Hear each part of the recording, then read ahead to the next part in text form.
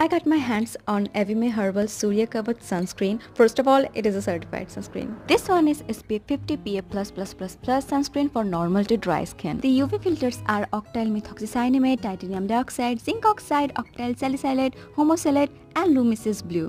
Also it has pomegranate oil ginseng extracts which is gonna help your skin against free radical damage. Niacinamide, panthenol, this non-greasy, non-oily, zero white cast formula is best for everyone. And it doesn't make my face sweaty.